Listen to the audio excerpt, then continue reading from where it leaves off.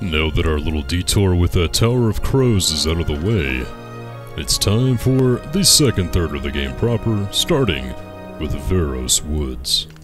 So it seems Pan has saved Gabriel once more.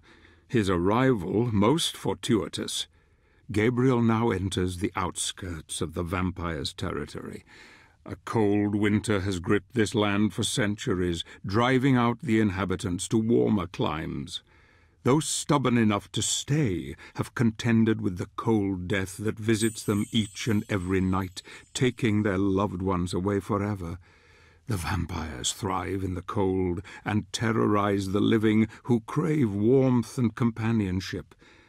This night a warrior will come, a knight in shining armor with death at his side. He comes for you, creatures of the night. And here we go, guys. This is when I would say the game starts to quote unquote feel like Castlevania. Right on the outskirts of the vampire's territory, and right before a certain village as well.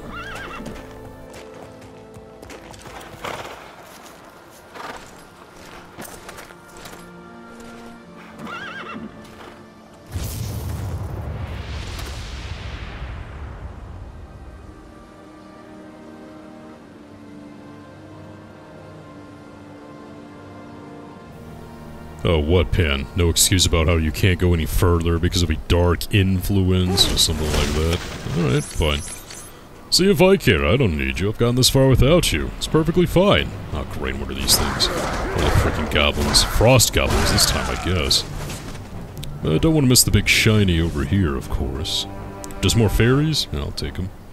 Fairies did prove to be quite useful whenever we used them earlier in that Crow Tower, so obviously I was missing out whenever I said that I didn't, uh, used them previously. Let's go ahead and try dashing down this.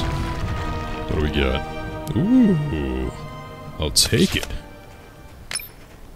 Full crystal? Or at least one piece of a crystal. Definitely gonna keep that in mind for later. And to top it off, a life expansion.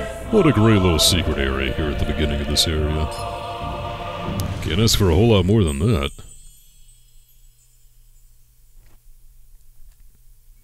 Yeah, if you're gonna max out anything, I would say go ahead and max out that life bar. like, if you didn't want to go back and get every single gem in the game, hey, understandable, but at least try to get that life, because it starts pretty low, you know? And, oh, come on. Uh, already? Dude, we just went through this. Stupid chupacabra.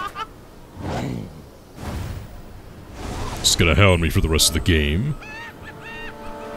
Ah, great. Well, at least I know where you are. Let's see, I believe he materialized over the air, so yep. I know where to go as soon as we're done here. I guess we just kill every single one in this tiny village before we go any further. Come on, dude. Oh! There's another one down. Yeah, I see you bouncing around out there. I'll get to you as soon as I'm done over here. Unless this is one of those uh, infinitely spawning situations, which it definitely could be. Don't think I need you guys grenades for anything, though. Okay, where are you, Chupacabra? I saw you over here. Okay. Okay, if, you, if you're just gonna send these at me non-stop, just tell me, and I'll, I'll, I'll go ahead and cut my losses while I can. Oh, and I did get the upgrade here. Boom! Okay, that actually worked out a whole lot better than I thought it would. Maybe because I had already done a crap ton of damage, but still. That was pretty freaking impressive. Okay, where'd you go? Through there? I see an arc right there, but I don't need any health at the moment. There it is! Come here! Uh, I think I'm going to be breaking down these things as I go. Well, I can't because I don't have my medallions. what am I talking about? I don't have any of my abilities. Okay, where are you? Stupid little hobgoblin. Now that looks like something we will need to get grenades to break down. So I believe we get them by grabbing them, correct? Okay, we messed up that somehow. There we go. Where's the grenade? Oh my god, okay, so not a grenade, it's the giant pig monster. Straight out of Twilight Princess. Gotcha, okay, fine. Let's go ahead and try this Oh! Stop it. Let's try this again. Boom! A big hit. I mean, it's a big hit that does a lot of damage, I feel like. You know, pretty wide radius, so... So you need to watch out whenever this thing kind of rears up to charge, just like that. Okay, how many hits can you take, pig man? It's not really a pig man, I guess it's just a pig. Could deal a lot of damage, though. Oh, God. Maybe not be right up next to the tusks. God, how much damage can you take, dude? I need to go into light magic mode. Well, I can't, because the Chupacabra again. And you can see these, these instances really annoy me. God, I've never seen a pig take so many hits. This thing's gonna freaking kill me. Do I need to break out the fairies, maybe? I did just get all these fairies. Let's try one of them. There we go.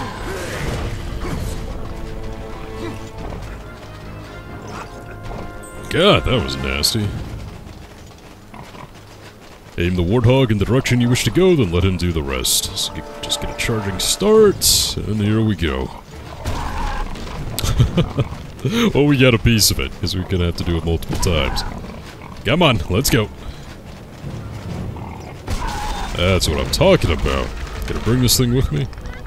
Hey, come here! Don't you mock me. Okay, well, uh, now let's just kill this thing so I can get all my health back. Because I am almost dead. And with no way to restore my HP.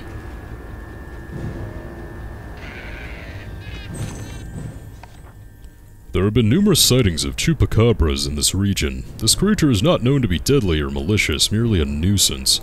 I must get word back to the Brotherhood to advise my comrades to carry as much fairy blossom as they can. It is written that chupacabras are fascinated by anything to do with fairies, and the blossom is a good tactic to use to distract the pesky creature while retrieving anything that it may have stolen. Oh, I see. I, I had forgotten that. So, a fairy will distract it to where I can just grab it? Is that what that was saying? Okay.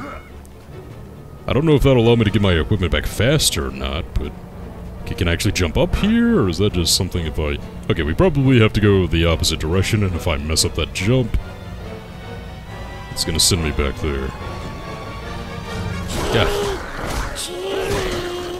So this is the wrong way, apparently. Maybe I missed something back there. Regardless, I'm gonna try to take down all these guys first. I still think that this way might actually, like, curve around and allow us to go where we need to go. Is that right? No, this is definitely the wrong way. 100% the wrong way. I can't even make use of that to get through that barrier. Yeah, yeah, we're just going in circles now. Ugh, man. Again, least favorite segments of the game. Okay, so yeah, couldn't go that way. Couldn't go this way over here. Although I'm gonna have to come back here once I have the medallions just to check out what's going on here. Okay, let's try this again. It was this area right here where I went wrong, yeah? Yeah, right here. Not too close, not too far. What am I doing here? I, is there a grapple point that I'm missing? Wait, I see him up there, yeah, so how... How do I get up? Oh! oh, man, that is slightly annoying. Okay. Blind you are. Oh, not gonna be blind for long. In fact, you're gonna be the one that's blind if I have my way with you, because I'm gonna stab your freaking eye out. Okay, here. Go get him, fairy. Nice, okay. And you're mine.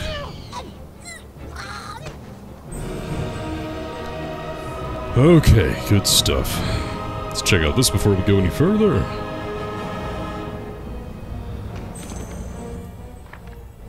I've been stocking up on dark crystals as they are very useful in combat.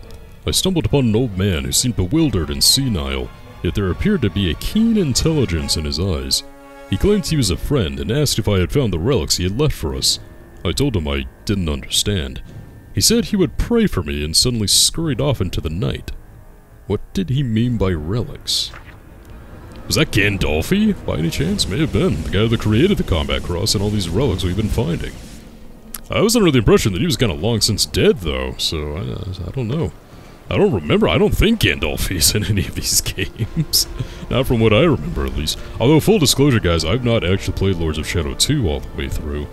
Um, not because I played it and I absolutely hated it, more just I, I played it, it didn't grab me at all, and that was after playing Lords of Shadow 1 and, um, uh, Mirror of Fate, which is kind of the, the interquel game. It's not it's not really fair to say interquel because it came out second, but it's, it's more of the bridge between 1 and 2, I should say. But um, I, I couldn't really tell you why I never really finished the Lords of Shadow 2. I didn't think, it, again, it was horrendously bad, just maybe thoroughly uninteresting. Yeah, I'll grab that, and the last piece of this crystal here. We have a full one now? Nice. So I'm pretty much gonna save those for, like, the really difficult encounters. Not so much as, like, the Lords of Shadow boss fights, but just, like, really big bosses that we're gonna have to deal with. Okay, let's go again. Yeah, these two segments here very easily missed.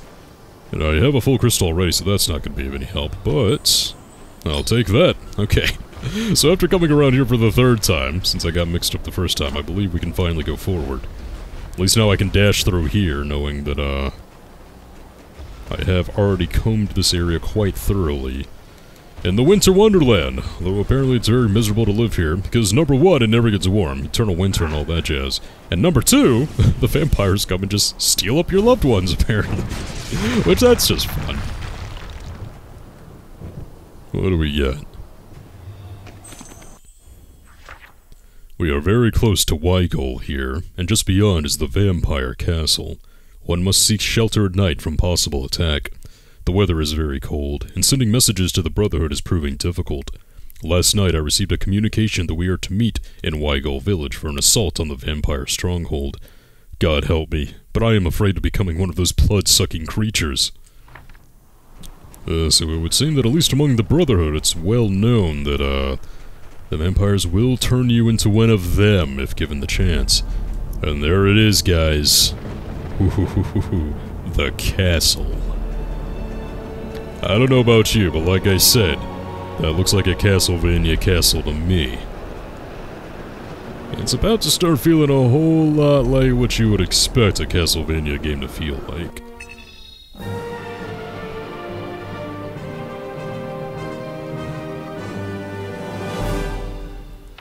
Let's see what we got here. So I did comb over these moves to try to get rid of all the exclamation points, just so I can tell whenever the chainsaw has an upgrade to it. And I think it's going to happen pretty soon. I remember it happening in the second third of the game here, so... Here we go. Ah, this is probably This my favorite part of the game. one game. the last vestiges of human civilization left in this place of death and cold. It lies not far from the vampire's castle, our next objective. I have some matters to attend to here, matters that could spoil our plans. I will deal with them and try to rendezvous with Gabriel later. He has not slept in days, not since the girl. The pain is etched on his face still, but in his soul only hatred drives him. We will not speak of it. He must not know I have seen everything, that I have followed him this far. Well, that sounds a little ominous, Zobek. I mean, yeah. So just in case you were wondering, it's not the fact that Zobek is kind of the narrator of the game. He has been watching Gabriel this entire time, no doubt wanting to know something, so... Okay, can I get in here? Let's go ahead and try it. That didn't work. Maybe try the Falcon Punch? Oh, I'm all out of energy now, so I guess it doesn't really matter. Tear down the wall? What does that mean? Maybe did I dash in the wrong direction? That's kind of discouraging. At least it's at the beginning of the level, so I can just very easily get it. But here we go, guys. The traditional village before the vampire castle. This is an ocean that I believe started in Rondo of Blood? I think so. Maybe Dracula's Curse? Don't really remember. It is a thing, though. Reinforcements sent by the Brotherhood should arrive soon, but even then, I fear there won't be enough of us to hold against these terrible creatures. Brother Federico informs me that fairies combined with light magic can be useful against the blood-sucking devils. The problem is, where does one find fairies? Yeah, so that's something to keep in mind. Vampires are weak against those light-infused fairies that I have inadvertently used before, so... But I mean, we're right outside the vampire castle. Is it finally time?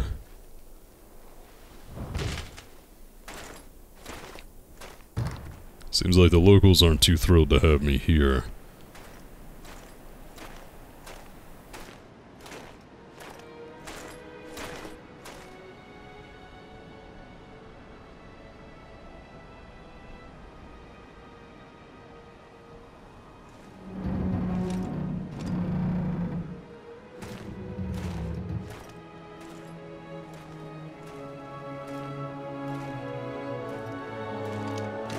Thank God that you are still among the living, my friend.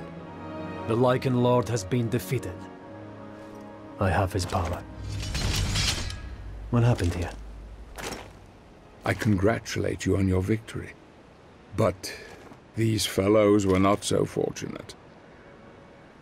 Word has spread of our quest. The vampire clan have slaughtered this entire village. And now, they are expecting us. That abbey. I am told the abbot possesses an ancient relic that harnesses the power of the sun. It is said to be capable of burning vampires and reducing them to ashes. That relic protects the abbey and all who take refuge there. But the abbot has barricaded himself inside and filled the building with deadly traps to deter visitors. After years of isolation, some say he has been driven quite mad. He resides up there, in the tallest of the towers. If we could persuade him to give the relic to us, it would give us a tremendous advantage over the vampires. But it won't be easy. Mad or not, damn him for not protecting his people.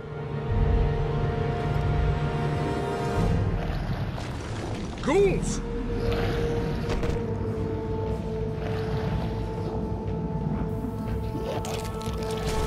Oh, that's disgusting. Looks like they get particularly strong whenever they consume one another. So what we have to do, I believe, is I gotta Falcon punch that thing back. Ow. Maybe I need to have the Shadow Power move to do it. Thankfully, we do have Zobek fighting alongside us. Of course, I don't have any shower, Shadow Power because I wasted all at the beginning trying to open that little pathway, but maybe I d I'm not able to um, push that thing back over the grave until I've fought these things for a little bit. Because if I remember correctly, uh, these things will just keep coming. It is an unlimited enemy. They will return if we don't block the hole. Well, that didn't work. Maybe I have to uh, grab onto it? There we go, that's what we gotta do. Help me, Zobek. We can only knock down the statue if we do it together. I'm coming. And with a little bit of teamwork, seems that's how we do this. And there we go, no more ghouls. Good stuff, good stuff, alright. Next one is gonna be right here, it looks like. Not that one. Let's concentrate on stopping the ghouls from coming out. Back, you demons! Ah, and there's another one right here. Ah, let's see. Let's see, and where's the statue? Aha, right there. So looks like that one's gonna take a little bit more work to seal up. If I can just dodge away for the time being, though. Sure we can do it. Let's go ahead and try this again. I really like that. Seems to cause a bit of a recoil right there, which is good. Let's go ahead and get all that shadow magic back. Now that I am getting all these power orbs. Oh god, he's got the little barf attack. we Ew. Gabriel, if that statue were closer to the hole, we could cover it as we did before. Gabriel, if that Maybe statue now I were gotta closer to the Falcon hole, Punch. we could cover it as we did before. There we go. That's what I was thinking of. Alright, let's call Zobek. Zobek, help me knock down the statue. Hold on, I'm coming. And here we go. Oh crap. No, no, no, no, no, no, no, no. Okay. Boy, that was really close. Very close to having to deal with a whole nother wave of these guys before I was able to do that again. Better to have stayed in your hole. They will return if we Let's just try to hear. Patrick Stewart taunt enemies. Is there another one? Oh yeah, it's over there, the last one.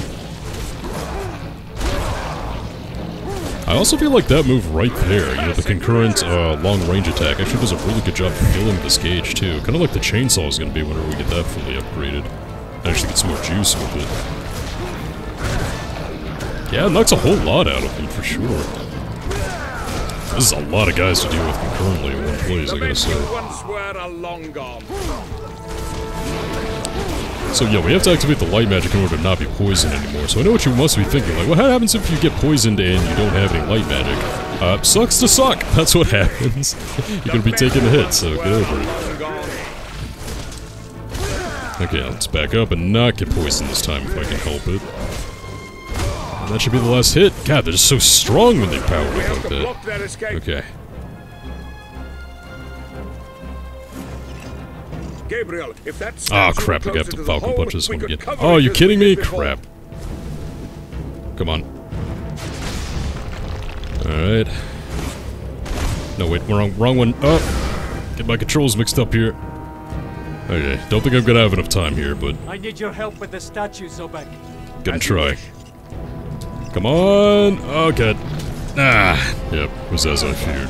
Alright, so we're gonna have to deal with a whole nother wave right here. Oh, God, that's a lot of them. Get away from me! And then we'll be able to do this. And there we go, we got it that time. And it also has conveniently led to a way out. So we have before we head there, though. A Shadow Magic expansion.